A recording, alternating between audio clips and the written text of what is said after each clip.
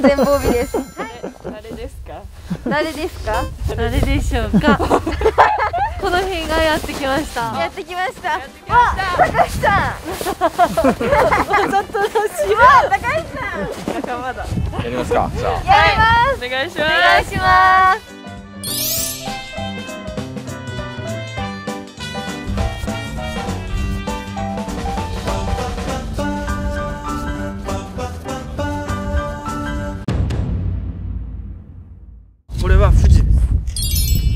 樹齢でいうとやっぱりもううん50年ぐらい経ってる木です。はい。今日見えてないんですけどあっちが岩木山です。あ岩木山八甲田。ーはい。ってことは方角は？西。西。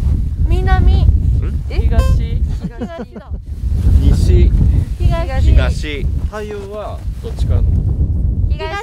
あっちから登ってくるんですよ南を通って西。西岩木山の方に沈んでいく。はい。できれば南側を低く北側を高くしてなるほあーなこうやってたど方がまんべんなく北も南も太陽が。面白い。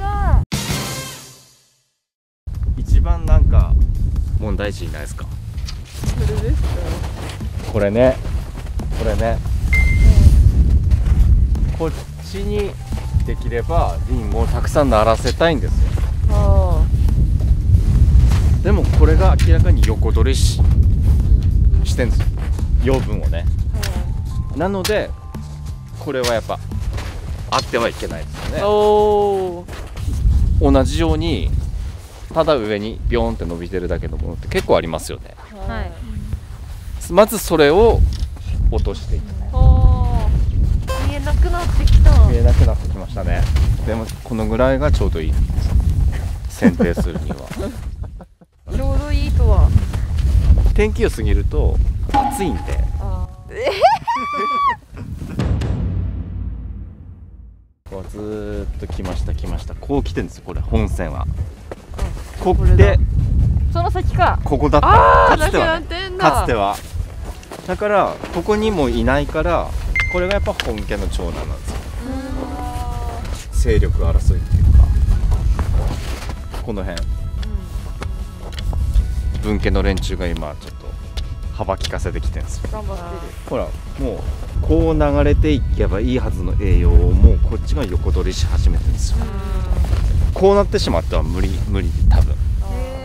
なのでこっちを今度は本家にしていかなきゃいけない。引く時に切れますはい。だからどっちかっていうと引く。引く引く。ー頑張って。いやー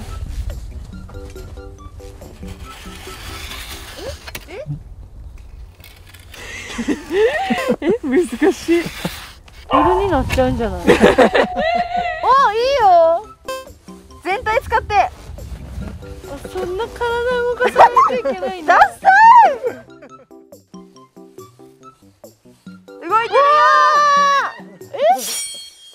ほらなんかすっきりしましたね。ちょっと残ってますよねここ、うん。はい。これがあると病気になりやすいのであら。あなるべくここはこーそうなんだ。すごい音が違うもんね。上手だ。上手だ。さすが。さすがです。う横取りされてたものがないことで流れがこうスムーズになってる、うん。このこのイメージが大事。なるほど。水をなるべく伸ばしたい方向にこうやっていきたいです。あこれ。それ。へえ これなんです本家の長男に関してはちょっともう手遅れなんですよ。うん。これが強くなりすぎて。るうんうん。だからこれを今度は育てていかなきゃいけない。ってなると一番近いところで横取りしてるのがこれなんですよ手ぶら？医療放棄だぞ。どうやってやるんだっけ？怖い曲がりました曲がったんじゃん曲がってる 止まってる。え頑張れ頑張れ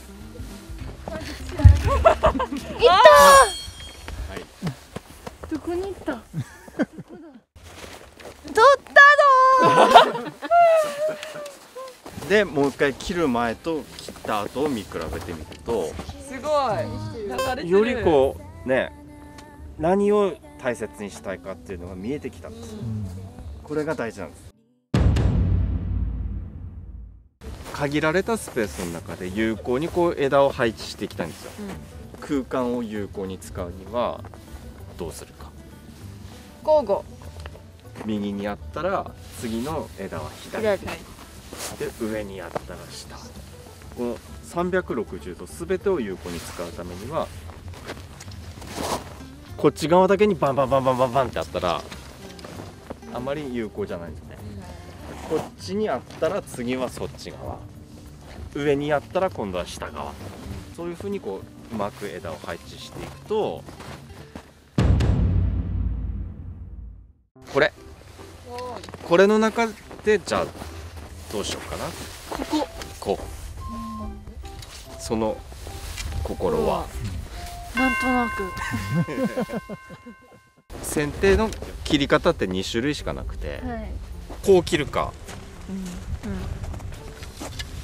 こう切るか。え？間引く。間引く。間引く。逆にこう切るっていうのは切り返し。間引きか切り返しかしかない間引き。間引き。間引き。基本は間引きなんです。じゃあ切り返しか。すぐ帰る。間引く方が刺激は少ないんです。うん。切り返すっていうのは大きな方針転換なので大胆なんですよ。だからより刺激が強い刺激が強いってことはよく伸びてしまうと。本家の長男どれですか？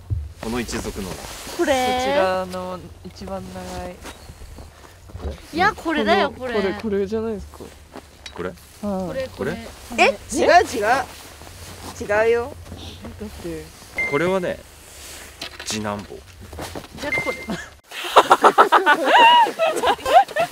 これこれが帰る。これが本家の長男。ですどこまでも生かしていきたい。うん。ところがもう草刈りしながらガンガンガンガンぶつかったりしちゃうんですよいずれは。なのでこれはもうそんな長い感じはしない。ってあことはやはりこういうところが次大事になってくる。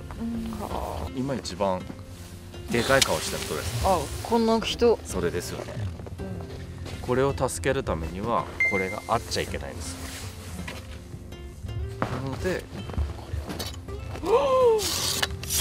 と切るからには理由が必要なんですよ。例えば自分手術してもらう時に「先生ここなんで切るんですか?」って言われた時になんとなくって。怖い怖い怖い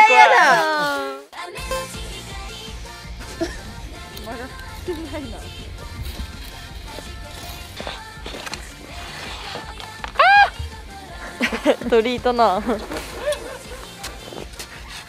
切れない。こっからは切れない。うわー鳥だ鳥。うわえどこ見てるの？落としたので枝は減ってるはずなんです。切る前より。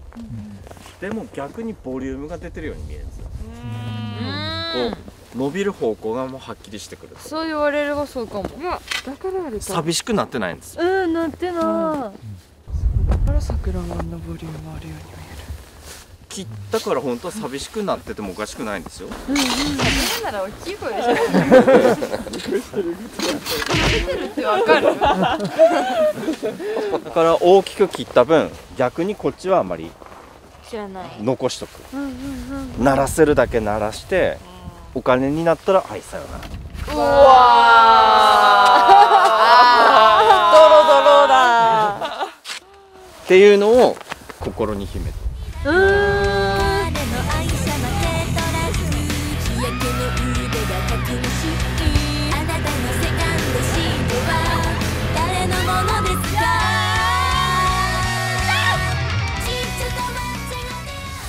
動画を見てくれてありがとうございました。この動画が良かったなと思ったらグッドボタンとっても勉強になった。という方はチャンネル登録。